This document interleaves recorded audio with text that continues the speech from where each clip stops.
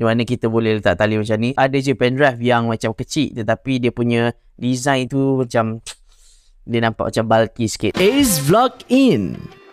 Alright, you dengar, you dapat. So sekarang kita nak sambung lagi borak-borak mengenai uh, SanDisk Ultra Dual Drive Go USB Type-C OTG. So ini adalah antara salah satu favorite pendrive OTG yang aku gunakan. Dan pertama sekali apa yang aku suka mengenai pendrive ni adalah dia punya slim. Dia punya slim design ni memang aku sangat-sangat suka. Slim lepas tu ringan pula. Tu ada je pendrive yang macam kecil tetapi dia punya design tu macam dia nampak macam bulky sikit. Tapi yang ni macam slim nipis je kan. Dan yang kedua apa yang aku suka adalah dia ada dua kepala tau. Dia ada dua kepala. Yang pertama sekali kepala yang dekat depan ni. Ah yang dekat depan ni. So yang ni you guys boleh gunakan bersama dengan PC ataupun laptop dan sebagainya. Lepas tu kita pusing je macam ni. Cak. Terus kita boleh gunakan dengan smartphone especially smartphone yang type C. Apa lagi yang aku suka pasal ni adalah dia ada satu ruang dekat sini. Kan? So boleh letak tali.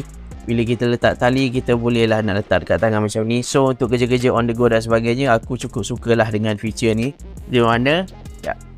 Di mana kita boleh letak tali macam ni. So relax tak hilang. So kalau ada keperluan nak transfer ke pap pap guna macam biasa.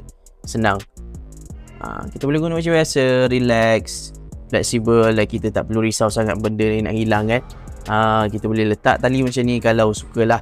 Ini bukan didatangkan dengan package dia eh. Tapi aku beli asing lah so ada tak antara you guys yang dah gunakan SanDisk Ultra Dual Drive Go USB Type-C OTG ni? Boleh komen dekat ruangan komen. So bagi tahu apakah antara benda-benda yang you guys suka mengenai USB ni ataupun pendrive ni